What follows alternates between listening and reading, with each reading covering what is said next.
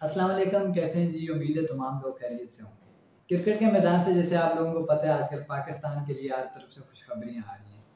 चाहे वो emerging Asia cup हो 2023 वाला, चाहे वो वर्ल्ड चैम्पियनशिप के मैचेस हों, जो पाकिस्तान श्रीलंका के साथ खेल रहे टेस्ट मैचेस या चाहे कुछ दूसरा स्पोर्ट का मैदान हो, हर तरफ़ से स्पोर्ट में पाकिस्तान को आजकल खुशखबरियाँ मिल रही हैं। तो हमारी अल्लाह पाक से ये दुआ है कि दो हज़ार तेईस का जो साल है, ये खुशखबरियाँ हमारे लिए कायम और दायम रहें और ये खुशखबरियाँ हमें दो हज़ार तेईस के साल मिलती रहें। क्योंकि अभी महीना, डेढ़ महीने बाद एशिया कप आना है और उसके बाद वर्ल्ड कप है। तो हमारी ये दिली ख्वाहिश है कि इंडिया की सरजमीन पर इंडिया के मैदानों में पाकिस्तान का झंडा लहराए इंडिया के मैदानों से पाकिस्तान वर्ल्ड कप उठाए। तो ये हमारी दिली ख्वाहिश है, अल्लाह पाक इस ख्वाहिश को पूरी करे। तो अभी हम बात करते हैं इमर्जिंग एशिया कप 2023 की जो अख्ताम को पहुँच गए। चलो चलो चलो। जिसका फाइनल मैच जो था वो दो बड़े हरीफों के दरमियान था जो पाकिस्तान और इंडिया के दरमियान था जिसमें पाकिस्तान ने इंडिया को ठोका ठोका जी हाँ कुछ इस तरह ही हुआ है। जब भी हम किसी इंडियन टीम को हराते हैं तो उस टीम को हार से ज़्यादा जो मज़ा आता है ना वो इंडियन अवाम का और इंडियन मीडिया का जो रोना धोना होता है ना वो देख के सबसे ज़्यादा मज़ा आता है। अब क्या देखना पड़ रहा है? अच्छा है मैं अंधा हूँ। तो मैच की अगर बात करें तो पाकिस्तान ने पहले बैटिंग की और पाकिस्तान का जो टोटल था वो तीन सौ बावन रन थे जिसमें तैयब तार की सेंचुरी सजादा फरहान की फिफ्टी और सैम अयूब की फिफ्टी पाकिस्तान का स्टार्ट ही बहुत अच्छा था। कल्ली वल्ली यार। तकरीबन पाकिस्तान की पहली विकेट जो है वो हंड्रेड प्लस रन पे जो है वो गिरी है। जिसके बाद थोड़ा सा टीम लड़खड़ाई एक दो विकेटें जल्दी गिर गई थी। लेकिन फिर तैयब तार ने जो इनिंग्स के लिए वो यकीन करो एक्सीलेंट इनिंग्स थी। जिसमें उन्होंने हंड्रेड प्लस रन बनाए। और जिस इनिंग्स की बदौलत पाकिस्तान ये मैच जीते, मेरी नज़रों में इस इनिंग्स की बदौलत पाकिस्तान मैच जीते। क्योंकि जब थ्री फिफ्टी प्लस टारगेट हो गया था तो आधा मैच उधर ही ख़त्म हो गया था। उधर किसी को भी ये उम्मीद नहीं थी कि इंडिया इतना रन बनाएगा, वो भी पाकिस्तान जैसी टीम की बॉलिंग के आगे। चाहे वो छोटी हो या बड़ी हो, लेकिन पाकिस्तानी बॉलर जो हैं वो दुनिया मानती है उनको। तो इंडिया की अगर बात करें इंडियन टीम जब 350 पहाड़ जैसे टारगेट का पीछा करने उतरी तो 224 25 रन पे पूरी टीम जो थी, वो आउट हो गई थी तकरीबन 40 ओवर में।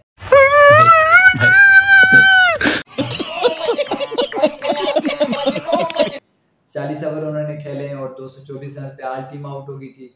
जिसमें से मेरे हाथ से इंडियन एक ही बैट्समैन था अभी शेख शर्मा नाम का, जिसने फिफ्टी बनाई है। बाकी कोई भी बैट्समैन पाकिस्तानी बॉलरों का आगे नहीं टिक सका। तो अब अगर बात करें इंडियन के एक रवायती काम का, जो कि हर मैच के बाद, खास करके पाकिस्तान के मैच में जब वो आते हैं, चाहे वो बड़ी टीम का मैच हो, चाहे वो छोटी टीम का मैच हो, चाहे वो क्रिकेट का मैच हो, चाहे वो किसी भी मैदान में पाकिस्तान से आते हैं तो इंडियन बहुत ज़्यादा इंडिया जो चाहे वो इंडियन मीडिया है, चाहे वो इंडियन एक्स क्रिकेटर्स हैं, चाहे वो इंडियन अवाम है, चाहे वो इंडियन पॉलिटिशियंस हैं, सब इंडियन जो है अपनी टीम को ट्रोल करते हैं।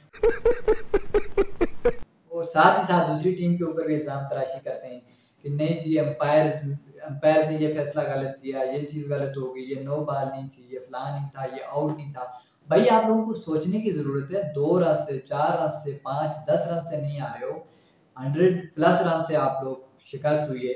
वो शिकस्त आप लोगों को तस्लीम करनी चाहिए। बात तो सही है। जितना आप एक्साइटेड होते हो अपनी टीम के जीतने के लिए इतना ही आपको टीम की हार में भी टीम का साथ देना चाहिए। साथ देने की ज़रूरत है। कंट्रोल ये तो इंडियन की अगर आप तारीख उठा के देख लो चाहे वो एम एस धोनी हो चाहे वो विराट कोहली जैसे बड़े बड़े सुपरस्टार हों जिन्होंने इंडिया को कितने वर्ल्ड कप जिताए कितने मैचेस जिताए उनका भी अगर देखें तो एम एस धोनी के साथ भी एक फाइनल था पता नहीं कौन से टूर्नामेंट का मेरे जहन में नहीं आ रहा।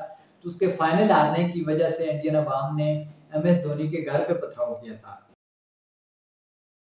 इसी तरह इंडियन मीडिया जो हर उसके मैच के बाद खासकर जो पाकिस्तान का मैच होता है जो पाकिस्तान के साथ मैच होते हैं गेम को एक गेम की तरह लेना चाहिए खेल के मैदानों को जंग का मैदान कभी भी नहीं बनाना चाहिए। ये खेल के मैदान होते हैं जहाँ से दो मुल्कों के तलकात जो हैं वो बेहतर होते हैं अच्छे हो सकते हैं। लेकिन इंडियंस कभी भी ऐसा नहीं चाहते चाहे वो इंडियन अवाम हो चाहे वो इंडियन मीडिया हो चाहे इंडियन का कोई भी शोबा हो वो इसको एक जंग की तरह ही लेते हैं जो इनकी सबसे बड़ा नेगेटिव पॉइंट है। अब क्या देखना पड़ रहा है? अच्छा है मैं अंधा हूँ। इसी के बाद अगर हम बात करें पाकिस्तान की तो पाकिस्तानी जब टीम परफॉर्म करती है अच्छी परफॉर्म करती है चाहे वो सेमीफाइनल फाइनल से जाके अगर आउट भी हो जाती है हार जाती है तो पाकिस्तानी अवाम का रिएक्शन कुछ इस तरह होता है। तो इंडियंस को पाकिस्तानियों से सीखने की ज़रूरत है कि भाई अगर आप टीम की जीत में आप उसके नारे लगा सकते हो टीम के जिंदाबाद के नारे लगा सकते हो तो टीम की हार में भी उसका साथ दो। किसी दूसरी टीम के ऊपर एम्पायर के ऊपर एग्ज़ाम तराशी करने के बजाय अपनी खुद का गरिबान झांको और अपनी जो हार है उसको तस्लीम करो। किसी भी खेल के मैदान का सबसे पहला रूल ये होता है कि आप हार बर्दाश्त करने के आपके अंदर वो मादा होने चाहिए जो इंडियंस के अंदर बिल्कुल भी नहीं है और खासकर जो मुकाबला उनका पाकिस्तान के साथ होता है। गजब बेइज्जती है।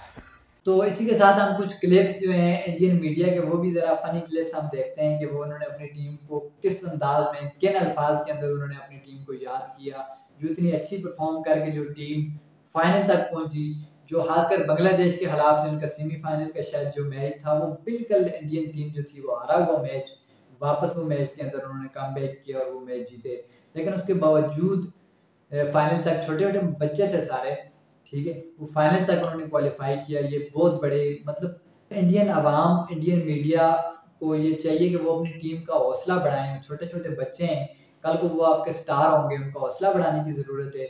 ना कि आपने उनको ट्रोल करना शुरू कर दिया। तो आइए चलते हैं और इंडियन मीडिया के कुछ फनी क्लिप्स देखते हैं कि उन्होंने अपनी टीम को किस तरह ट्रोल किया। था 128 रन की लांती हार।